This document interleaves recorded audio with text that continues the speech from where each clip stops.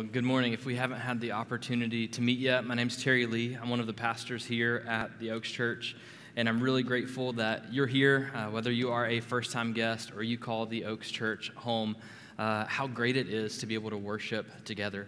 That uh, regardless of, of what is going on in the world or in your personal life, that our God is a, a, a place of stability, that He is a place of refuge, that His word is forever true. And so, if you have your copy of God's Word, go ahead and find Mark chapter 8. Uh, we're going to continue our study through the book of Mark. Uh, many of you know that our theme for 2022 as a church has been better together. We want to be better together by worshiping together, by growing together through discipleship and missional community groups and in our equip classes. We want to be better together by serving one another, by serving our city, and ultimately living on mission together. And uh, I want you to know that as your pastor, it is also great to be a member of this church.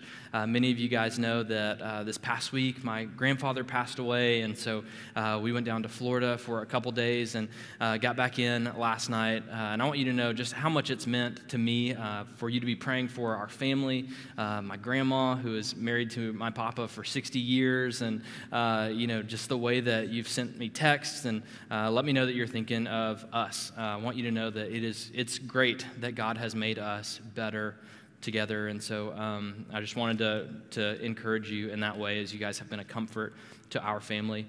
Now, as we look at Mark 8, one of the things that we're going to consider today is what Christ says about counting the cost of following him. And I was reminded of a secret about our city, the city of Cincinnati, that you may or may not know. Now, if you go to many of the major intersections downtown, you will see uh, some large metal grates that are on the sidewalks, and you might not know what's underneath those. You see, Cincinnati is home to the largest abandoned subway system in America. You can kind of see some of the access points actually as you drive down the interstate. There are seven miles of subway system that travel all the way from downtown where Central Parkway is up to Norwood. I'm not making this up. You can like research it whenever uh, you leave here today. Now, maybe you're wondering, okay, if there's seven miles of subway system, why don't we have this booming mass transit system? Well, it seems that the project was started before they accurately counted the cost, and for that reason, they never made it to the end. You see, in the early 1900s, uh, what we know as Central Parkway was actually the Erie Canal. It was a waterway, and it had gotten pretty disgusting. People were just kind of using it as the city garbage can, and because of the rise of the automobile, you know, people weren't really using the waterway. And so the city voted, and they said, let's drain the canal, and we'll just put a subway system in. And so the projected goal was 16 miles of subway system, and the budget was $6 million. Well, after about five years, they had seven miles, a little over half uh, accomplished. But then, you know, World War I, the Great Depression came, and seven miles in, and the funds were completely dried up after only five years.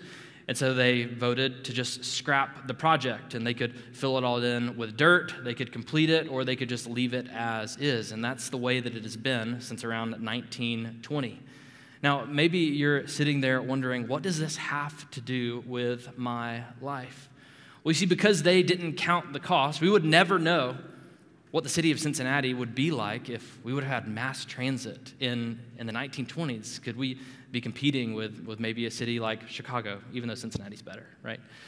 Uh, we'll never know what, what Cincinnati would have been like because the cost wasn't accurately counted before the project began.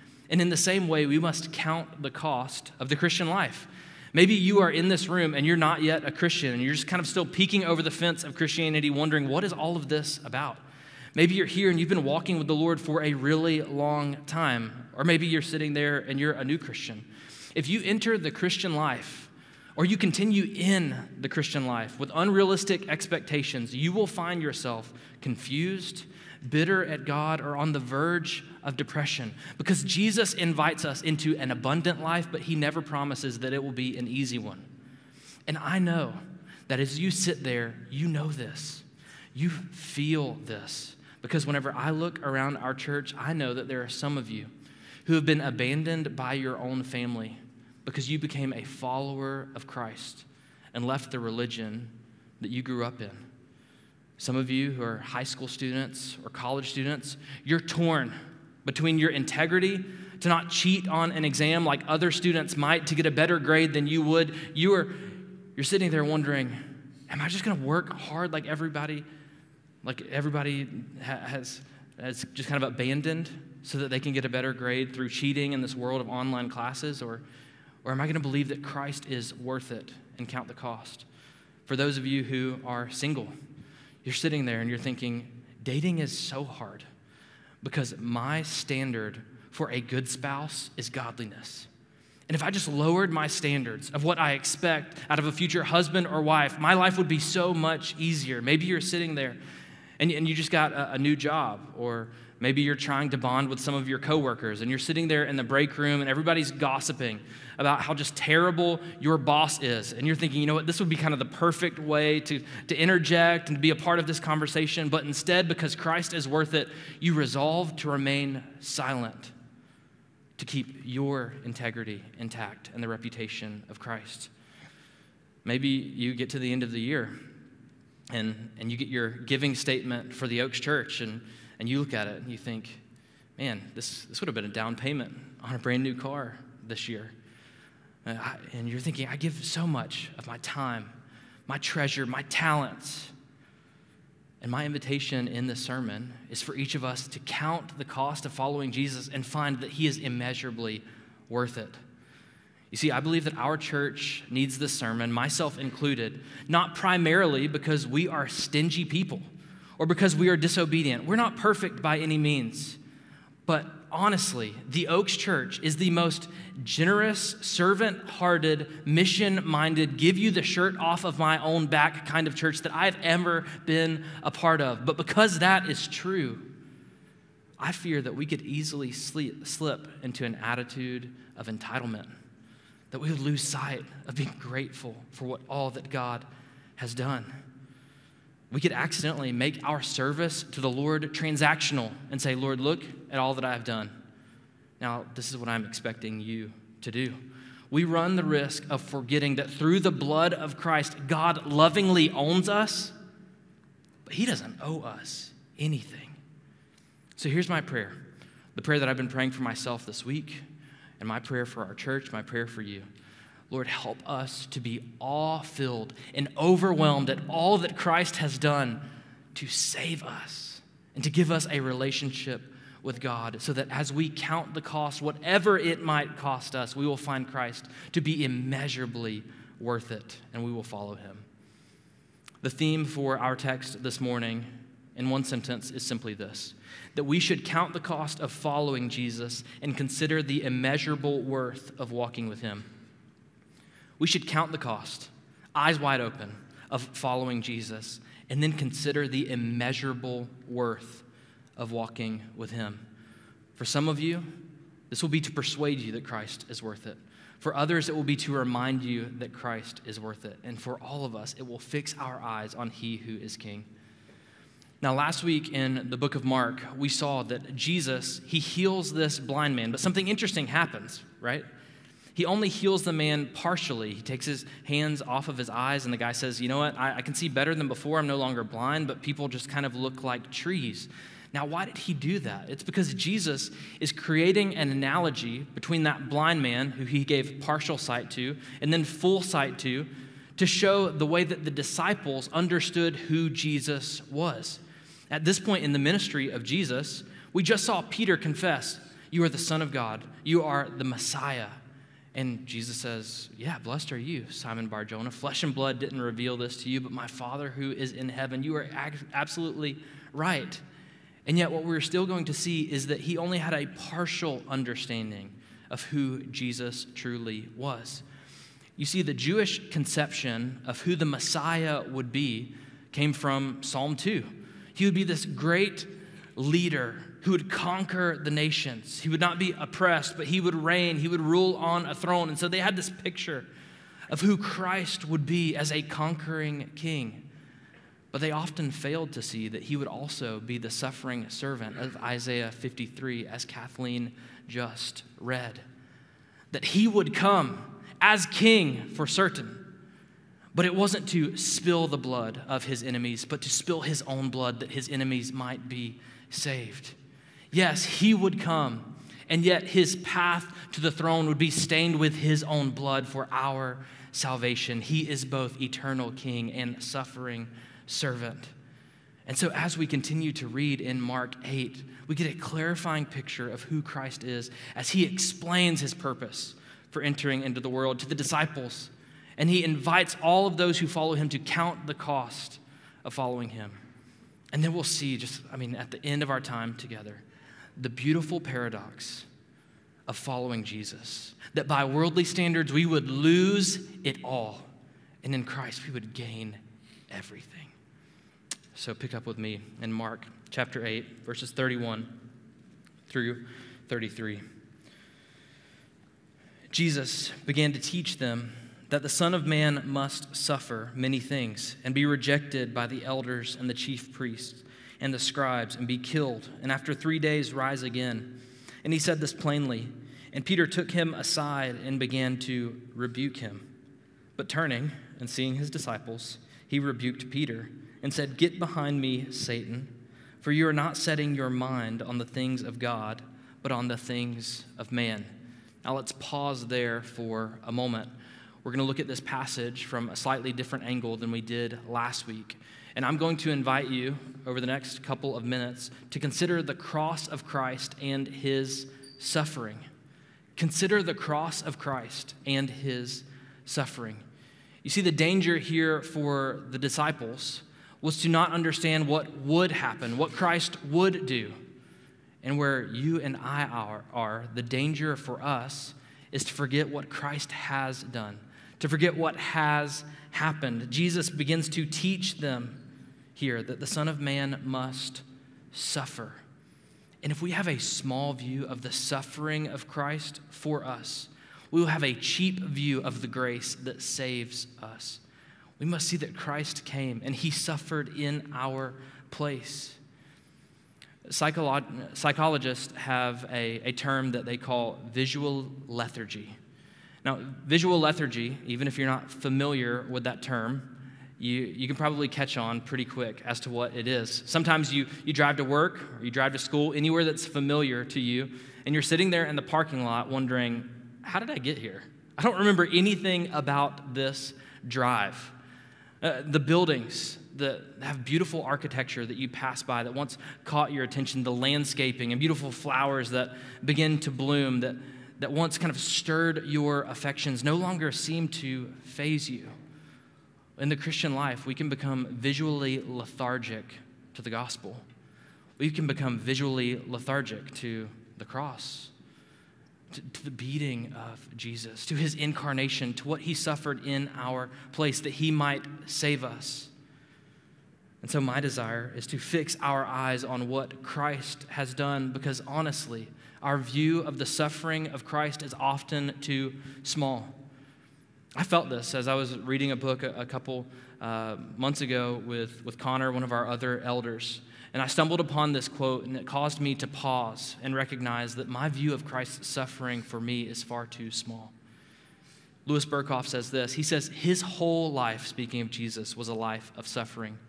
It was a servant life of the Lord of hosts, the life of the sinless one in daily association with sinners, the life of the Holy One in a sin cursed world.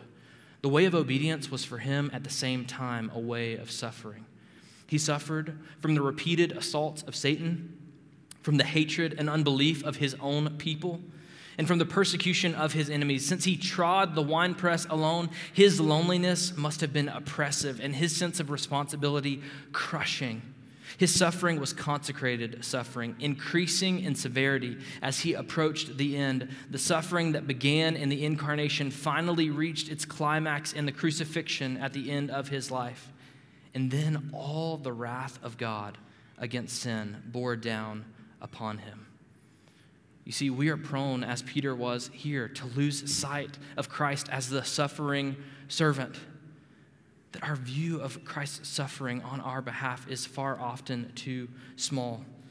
And here Jesus speaks of three ways that he will suffer in our place. Look at verse 31. He calls himself the Son of Man. Now, let me tell you why that is so significant. Because in Christ's humility and suffering, he became truly and fully human. He took on flesh in the incarnation. One of Christ's favorite titles for himself in his ministry was Son of Man because it reveals the depth of his humanity.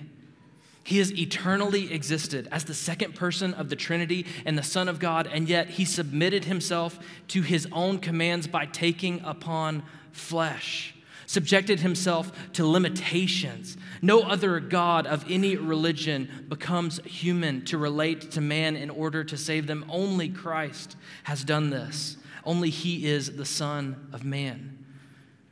You see, he takes on this title because it also resonates with the prophecies from the mouth of Daniel in Daniel 2 and Daniel 9 that he is the one who would preserve his people through tribulation. By becoming man, he would rescue humanity.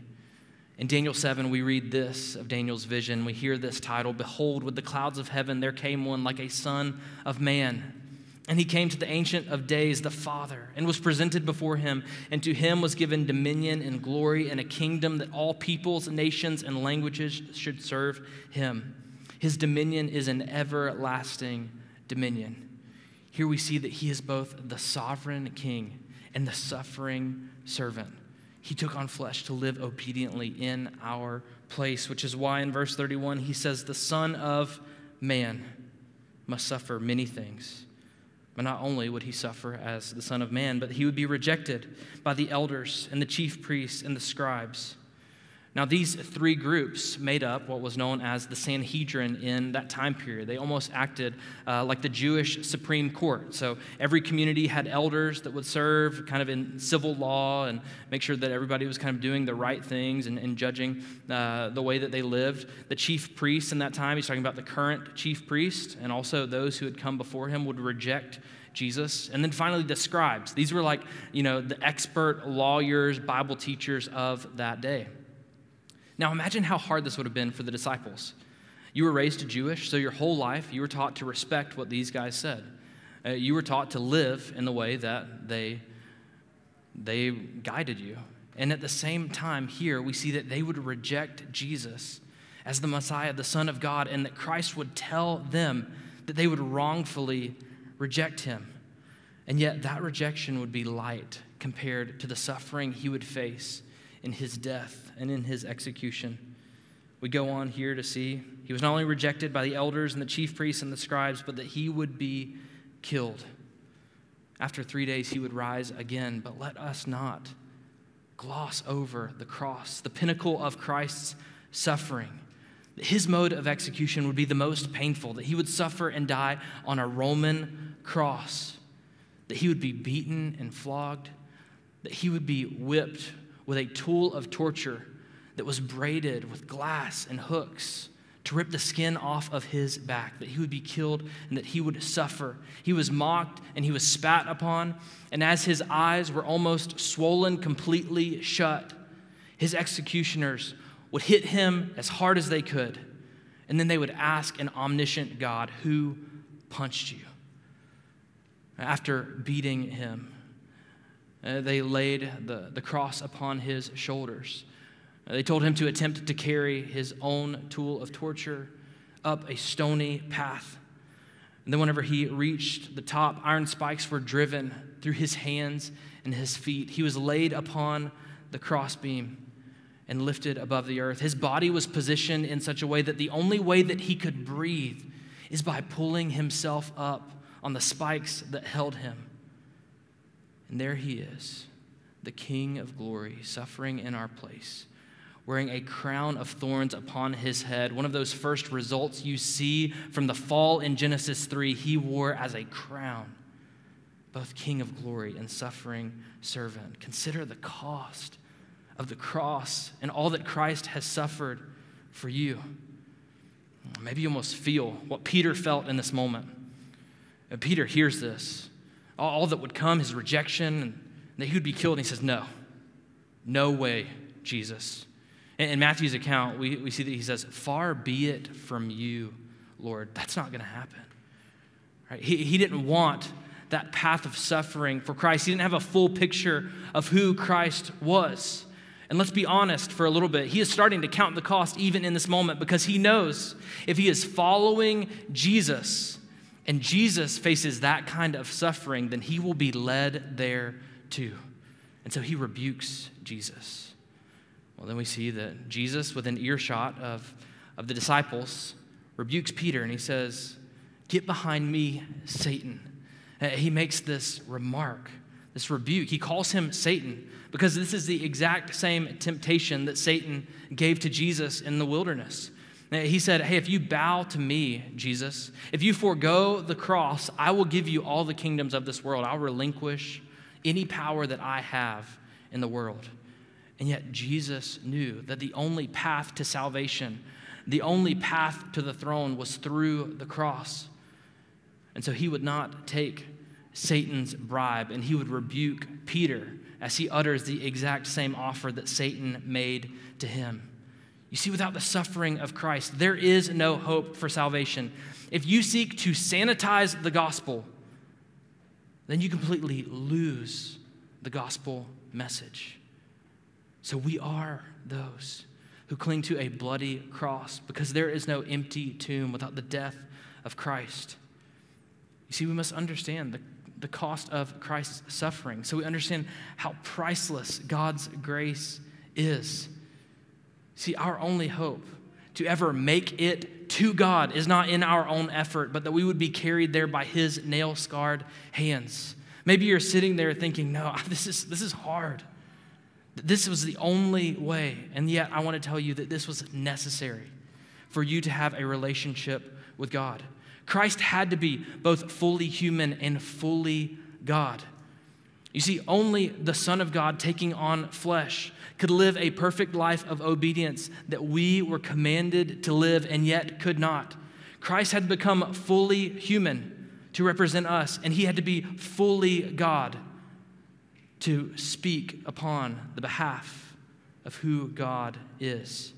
Theologian John Stott says this that all facets of the humanity of Christ suffered for sin so that Christ may be the Savior of whole persons. Christ became what he sought to save. See, he had to be fully human, he had to be the Son of Man to save man. His death was necessary for two reasons both for substitution and satisfaction. The, the wages of sin is death. God is uncompromising in, in the fact that the wages of sin is death. And every single one of us have committed sin. The wages of sin is death, but the gospel is the good news that that death does not have to be yours. And that Christ, in his perfection as an unblemished lamb, can be your substitute in the atonement.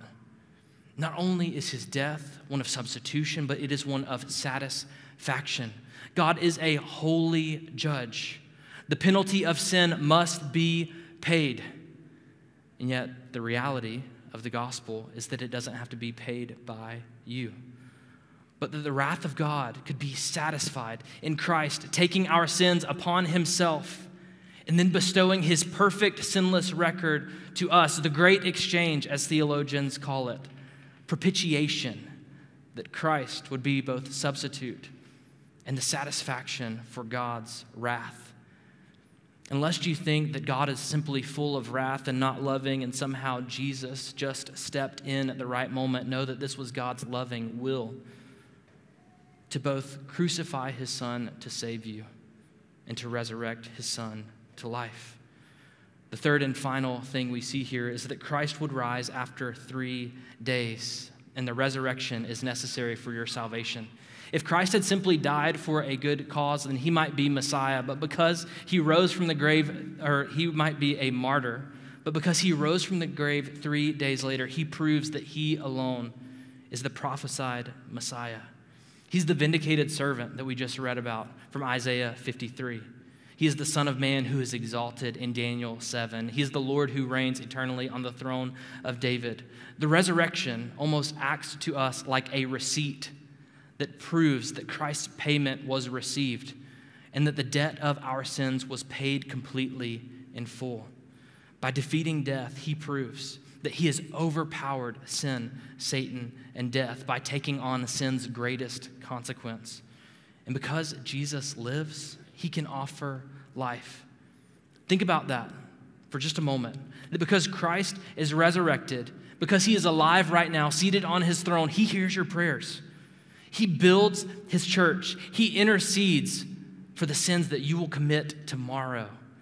He upholds the universe. He can offer you a full life with God because the tomb is completely empty and will stay that way. And one day he will return.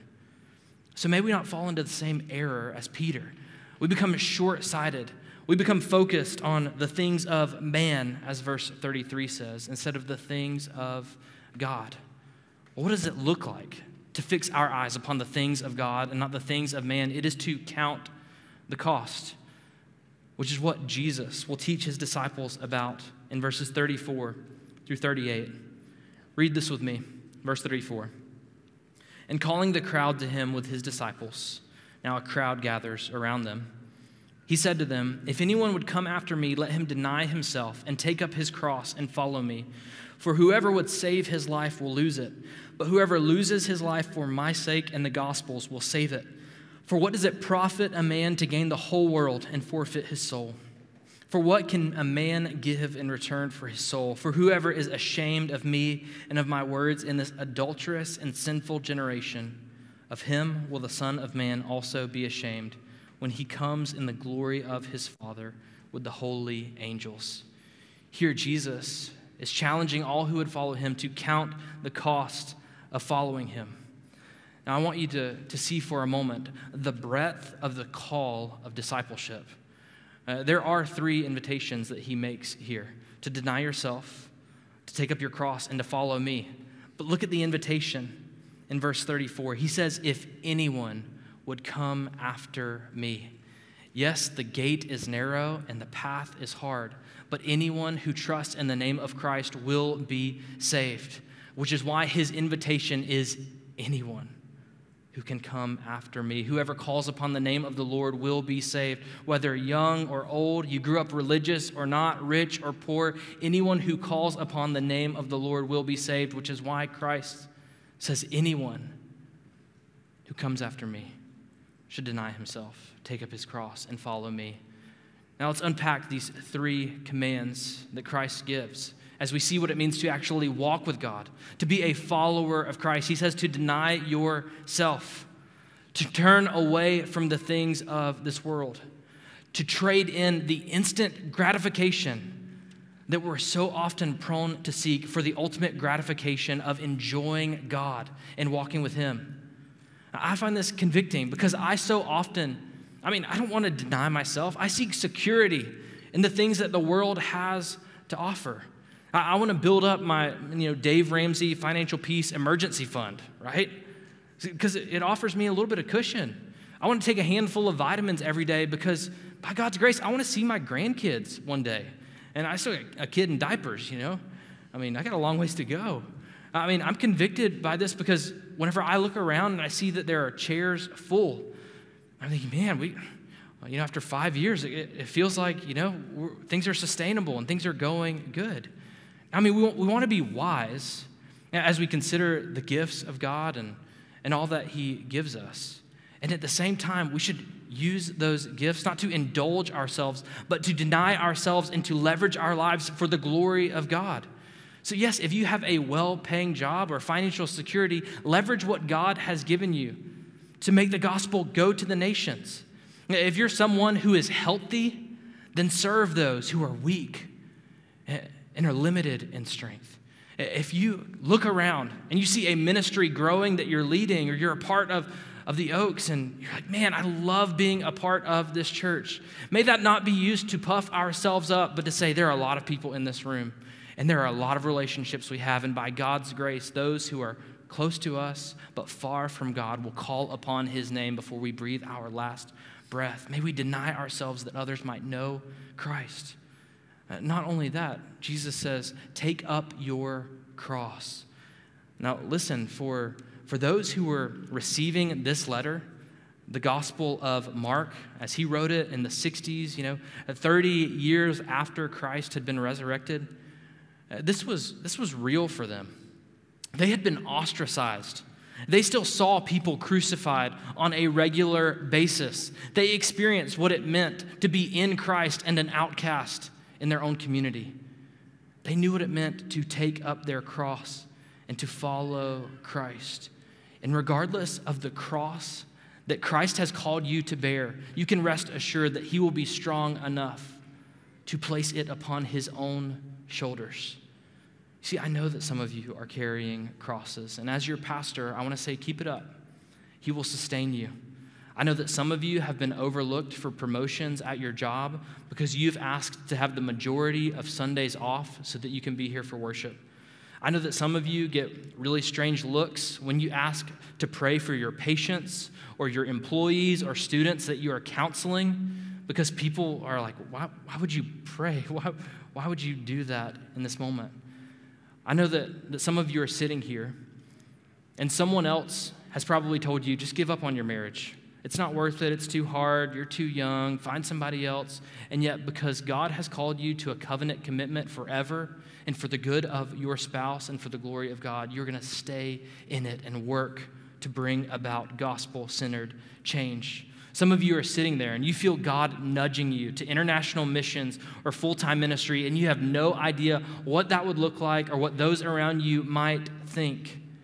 And I want you to rest assured that you can carry your cross and boldly follow Jesus because he is immeasurably worth it. Which brings us to the third invitation he gives follow me.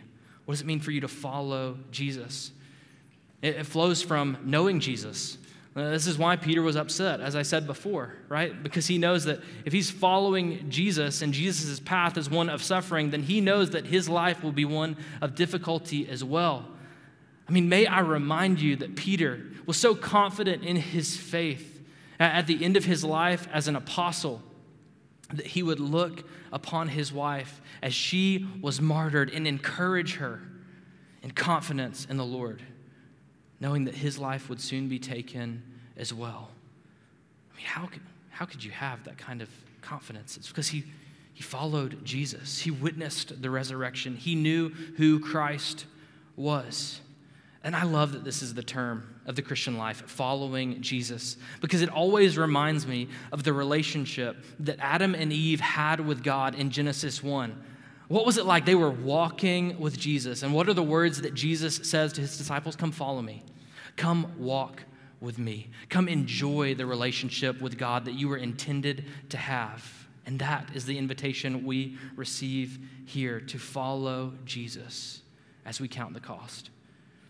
In the early days of the Oaks, uh, whenever there were maybe 20 of us in uh, meeting in the Oakley Rec Center, uh, around round tables there, and then 20th Century Theater. A couple of you remember that day, uh, those days. Katie was there, Maria was there, Abby, you're obviously there. Uh, so I, I, remember one one day um, we were kind of getting ready to like to like really start charging the hill, and there were index cards on the table, and I just I told everybody I want you to grab an index card, and I want you to write the word yes on the index card. And then after you, you write the word yes, I want you to, to pray this prayer and ask God, what is the question? My answer is yes. God, what is the question? And then, whatever that question might be, I want you to lay your yes on the table and say, Lord, you ask, and I will follow. You ask, and my answer will be yes, regardless of the cost. And maybe for some of you, that question that the Lord would ask, that you would answer yes to, would be to sell all of your possessions and move to a third world country that others who have never heard the name of Jesus might live forever. And for others of you, it will be what feels like the mundane, thankless self sacrifice of changing your child's diapers so that they have a Christ like example in the home of knowing what it means to follow Jesus. But our prayer to the Lord is you ask the question, and my answer will be yes. We are those who, by God's grace, deny ourselves, take up our cross, and follow Jesus. You see, Jesus here in verse 35 gives a warning For whoever would save his life will lose it, but whoever loses his life for my sake in the Gospels will save it. It is both a warning and a promise. The warning is this that worldly self preservation will produce an eternal condemnation. If you seek to preserve your life now, then you will lose it in eternity. Jesus here gives a frank warning, and there's no way to sugarcoat the unavoidable reality of Christ's words here. If you are more concerned with this world and what this world has to offer, then you prove that you do not belong to Him. And I am seeking to say that to you with the greatest pastoral care that I can because I care about your soul. And so Jesus offers the question what does it profit a man? If you would gain the world, if you would have everything that this life has to offer, and yet you would go into eternity not knowing Him and lose your soul. The question he presents in verses 36 and 37 is why would you seek to gain the world to lose your soul? There will be a day that your heart rate is a flat line. And on that day, the next billion years of eternity will be determined by the choices that you make here and now. Will you approach the throne of God with fear and regret, or will you enter into the presence of God with confidence and joy, hearing the words, Well done, my good and faithful servant? You see, it was the missionary Jim Elliot who once wrote in his journal, He is no fool who gives what he cannot keep to gain what he cannot lose. He is no fool who gives what he cannot keep to gain what he cannot lose and he would be killed by the Huaorani tribe as he sought to share the gospel of Christ with them. And whenever he died, he would see absolutely none of them come to faith in Christ. And as discouraging as that might would be, his wife continued the work that those people might call upon the name of Christ. And by God's grace, many, if not all of them, would place their faith in Jesus. And today, right now, in this very moment, in a place that is unseen to us, the very people who took Jim's life are worshiping the Lord by his side in heaven today. That's how gracious God is. May we be those who etch that reality on our hearts that we will not be fools. If we lose in this world what we could never keep, to gain in Christ that which we could never lose. So, what are you holding on to? Is it money? Is it security? Is it pleasure? Is it comfort? Is it your time? Is it your false sense of control? What would it look like for you to give up that you would gain Christ? Is the gospel calling you to be bold? With those neighbors that you often see but don't know their names? Is it to be more committed to your church family that you could be a part of building up your brothers and sisters in Christ?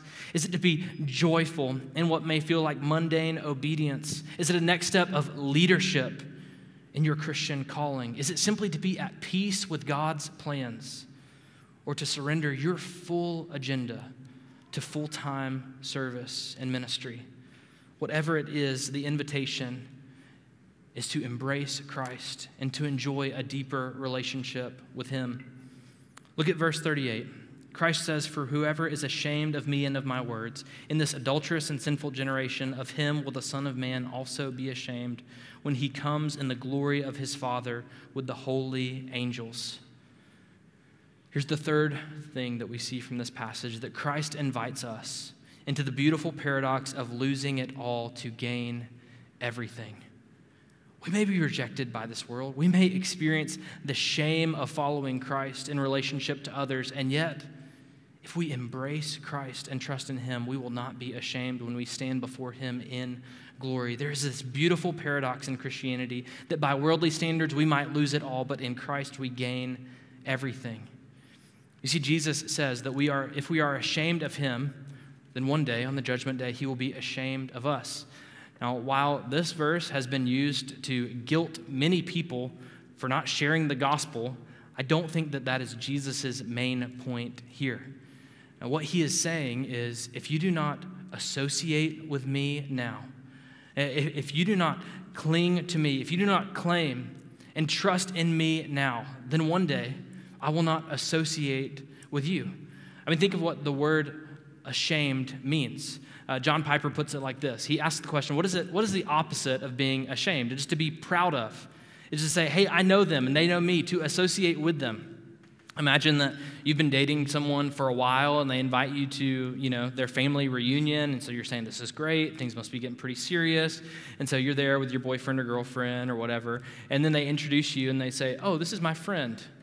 And you're thinking, oh, I thought we were, I thought we were more than that. That kind of redefines the relationship a little bit. If they're ashamed to associate with you, then you're thinking, they must not love me like I thought they did. Well, in the same way, what Jesus is saying he is, hey, if you're ashamed of me, if you don't associate with me, if other people don't know that you call me Lord and Savior, then one day when you stand in my presence, I will say, Depart from me. I never knew you. If you are ashamed of me now, then one day I will be ashamed of you. And while these words are designed by Christ to be smelling salts for the soul to wake us up, they are also filled with comfort and hope because the reality is if you do associate with Christ, if you cling to Jesus in the midst of your battle with sin, no matter how hard it is, or in the midst of your suffering, that you can rest assured that one day you will stand in His presence and that He is ever present with you on this earth. We cling to the unshakable promise of Scripture made known to us in 2 Corinthians 4 17, that this light, momentary affliction is preparing for us an eternal weight of glory beyond all comparison. Light, momentary affliction compared to an eternal weight of glory that cannot be compared. So, as we close, I want to tell you a couple things about the Christian life. The Christian life is one of calculated risk. It feels risky, but it's not because Christ is sure and certain, and our faith is concrete. I remember whenever God, uh, I, I, felt God calling me to ministry, and this was the passage that I read, and I pray that it's an encouragement to you. It was a devotional from Charles Spurgeon, and I'm not saying that this is a call for every person in this room to become a pastor, but simply to follow Christ. It goes something like this that we should follow our Lord as unhesitatingly as sheep follow their shepherd, for he has a right to lead us wherever he pleases. Come prosperity or adversity, sickness or help, popularity or contempt. His purpose shall be worked out, and that purpose shall be pure. We shall find it sweet to go up the bleak side of the hill with Christ. And when rain and snow blow into our faces, His dear love will make us far more blessed than those who sit at home and warm their hands at the world's fire. So, to the dens of lions or to the hills of leopards, we will follow our beloved, precious Jesus, draw us, and we will run after thee. You will not trade what feels like risks in the Christian life for the joy of trusting Him and depending on Him ever.